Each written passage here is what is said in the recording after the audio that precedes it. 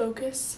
Focus. There we go. Hello, what's up YouTube? Welcome to my channel. Welcome back to my channel if you're not new. But if you are new, my name is Claire. I make college vlogs, travel vlogs, everything here on my YouTube channel. And today is an exciting day because it's winter break. So I don't have school going on anymore. So I figured this would be the perfect time to sit down and film a little like pros and cons list of my first semester here at USF. I've had a lot of people reach out to me wondering what my thoughts were on my first semester here. I just figured it'd be easiest to sit down and make a video about it, especially because I'm sure there are a lot of people out there that have similar questions. So just to preface everything, like I said, I am a junior here. I transferred this year though, so this is my first semester here. My college path has been kind of weird. I'm from Illinois, but I went to the University of Southern California, which was my dream school right out of high school. I was only there for a semester before leaving for like a whole combination of different reasons, primarily money and stress. From there, I just moved back home to Illinois and I did community college and then everything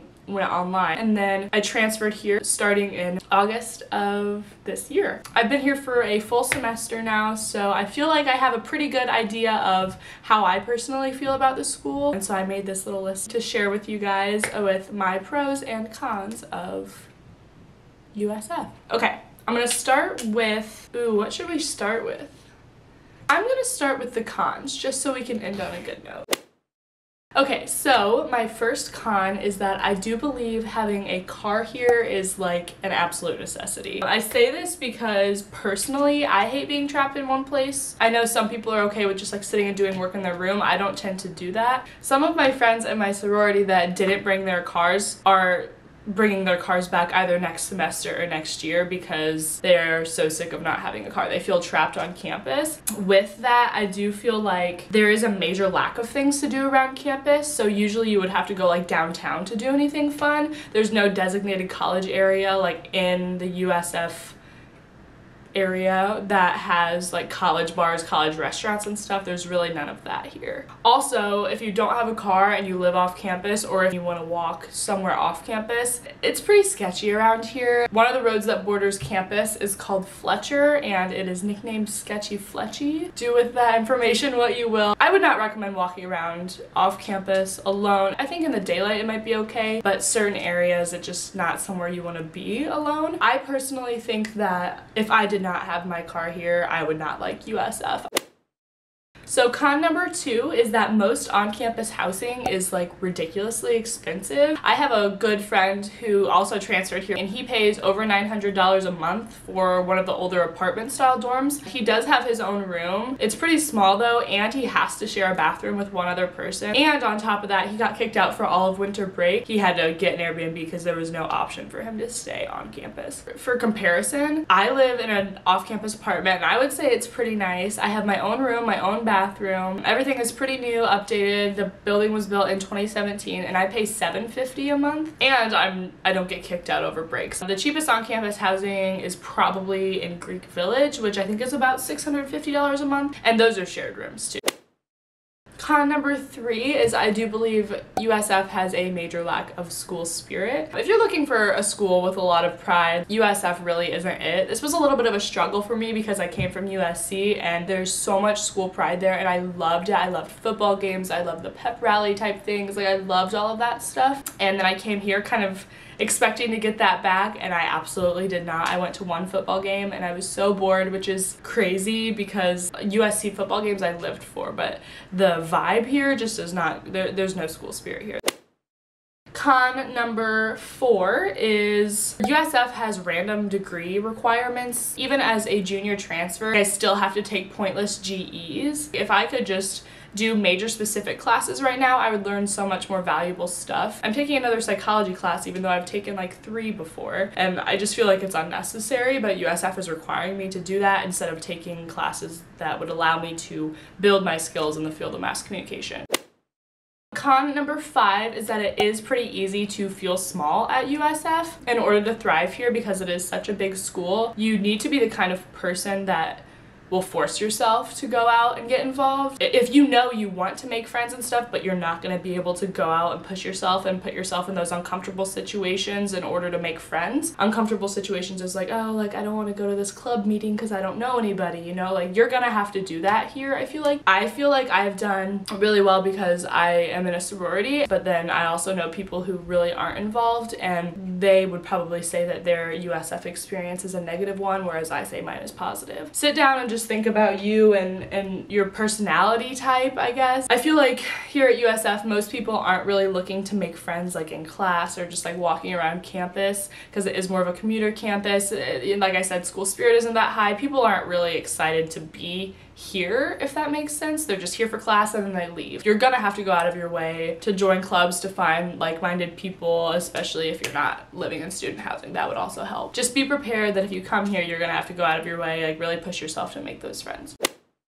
Con number six is that going out here is very expensive. We don't really have that many places to go around the USF area if you do want to like go out. The most popular option is the Ivy Rose, which is like a very typical college bar. You can get in if you are 18. Um, obviously you have to be 21 to drink, but the first time that I went, I had to pay $22.50 for cover. Other than places around here to go out, a lot of people will go downtown, they'll go to Ybor City. There are some different clubs down there, but it's it's pretty sketchy. They also have Soho, which is South Howard. They have a bunch of bars there that a lot of people tend to go to for like happy hour. You can't go if, unless you're 21, but I have some friends who go sometimes and I think they said you pay like 20 bucks and then you get like all you can drink from like a certain time to a certain time on Fridays. It's a really popular option, but I feel like still regardless it's gonna be kind of expensive, especially if you're not 21 yet and you're still looking to go out.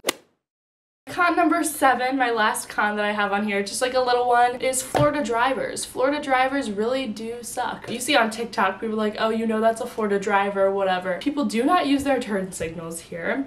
The rumors genuinely are true. Also, traffic is pretty bad around campus whenever, like around 3-ish, it starts getting pretty bad. Whenever people are like leaving classes, a lot of people are leaving downtown, there's always traffic like during the typical times I feel like. In the mornings from like 7:30 to 9:30 and then in the evenings from probably like 4 to 6 the traffic is decently bad. It's not terrible but it's not great that is it for my cons, but here we go. We've got the pros. My first pro is a big one and it's the Greek life here at USF. I really was never somebody who was like, oh my gosh, yes, I have to join a sorority. Like I really always had it in the back of my mind, but I was like, it's not essential. Starting at USF, especially as a junior, I knew I only had two years here and I wanted to make the best of it and I knew the fastest way to make friends and just have fun would be joining a sorority. So I went through recruitment and I loved it. One of the biggest things that I love about Greek Greek life at USF specifically is that it's not that massive. I know some people really do like the thought of being a sorority at like Bama or, you know, one of the other SEC schools, which I think seems fun, but for me, what I wanted out of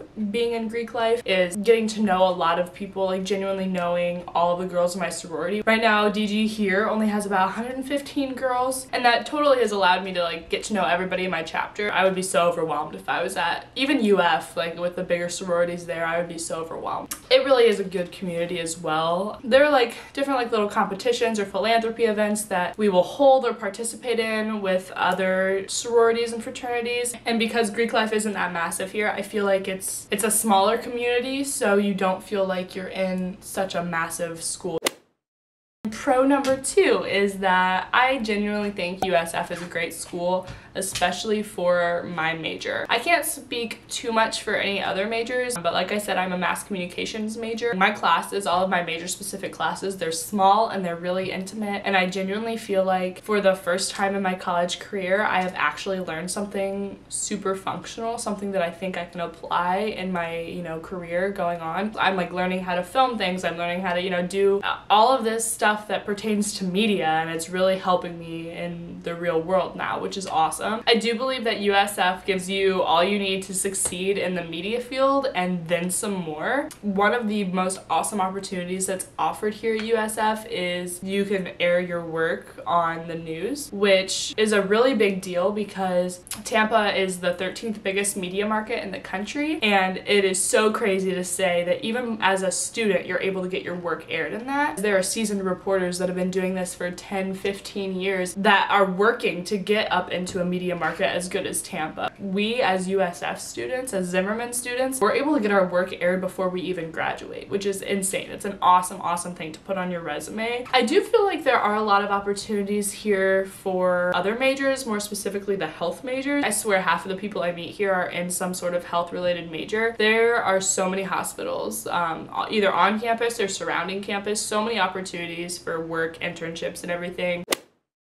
Pro number three, this one is a pretty obvious one, but USF is in Florida. Like I said, I'm from Illinois, so I'm so used to crappy weather and the fact that I'm sitting here in like a tank top right now and it's December 19th, it's crazy. It's been like mid 80s for the last two weeks, which is so nice. I actually leave to drive home tomorrow and I'm kind of dreading it because it's 30 degrees there right now. With the awesome weather, we are also in an awesome city. I genuinely think the Tampa, St. Pete area is an awesome, awesome place to be. There's really never a shortage of things to do here. Where we're at, like USF's campus is about 20 minute drive from downtown, give or take with traffic. But downtown there are a ton of restaurants, the Riverwalk. It's just really fun to walk down there. You can people watch, you can see all the really nice yachts parked in the river and everything. Beaches are about an hour away as well. There's like the big name one, which is Clearwater. A lot of people go there. You'll see plenty of tourists. But then there are other beaches too that you can take advantage of that are also about an hour, a little less away. Busch Gardens is actually just up the road. I have never been there, but it's literally like two miles away maybe. Like I can see it from my apartment complex and there are a lot of good like concerts and events here. I've been to multiple concerts since I've been here. I went to Jack Harlow and I got front row, which was super cool. There are like Lightning and Bucks games. And then last night, actually, I went to the Jake Paul fight at Amalie Arena, which is where the, uh, the Lightning plays. It was crazy. It was really cool that, you know, there were a ton of super famous people here yesterday and I got to see them all.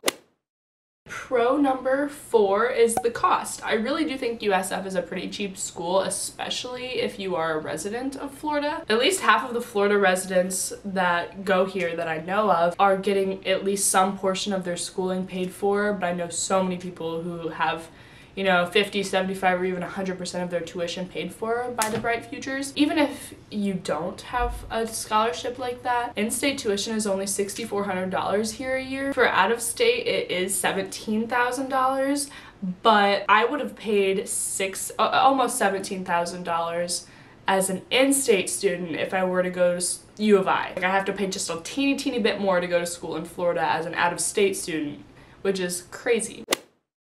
My last pro is just that USF is a large school. I know this can be a con for some people, but I genuinely think that, like for me, I definitely thrive in a bigger school type situation. There are endless opportunities here. There's always an opportunity to meet somebody new if you put yourself out there my camera is about to die. It's flashing red at me. So I genuinely love it here. I'm really excited to say that I found a place that I really think I do belong. I'm sad that I only have three semesters left, but I'm gonna do all that I can to make the best of them. Let me know if you guys have any questions. You can comment them down below. I can make another video. If you guys have more specific questions, I can do a Q&A type thing. Um, stay tuned for an apartment tour. I will definitely have that out soon, and I'm gonna try and do even more videos, like day in the life, college vlog type videos next semester. So thanks for watching and I will see you guys in my next video.